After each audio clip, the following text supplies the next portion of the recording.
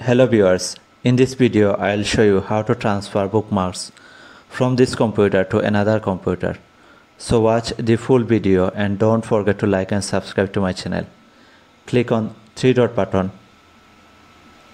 Then go to bookmarks. Then click on bookmark manager.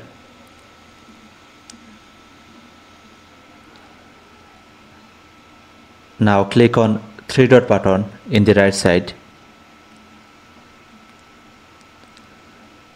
Export bookmarks.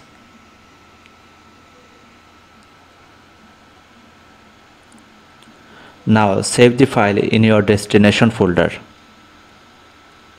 Choose any folder, click on save. Now go to your folder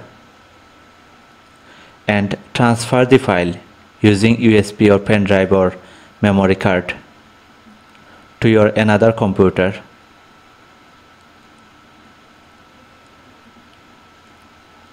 Transfer the file. Now go to your another computer.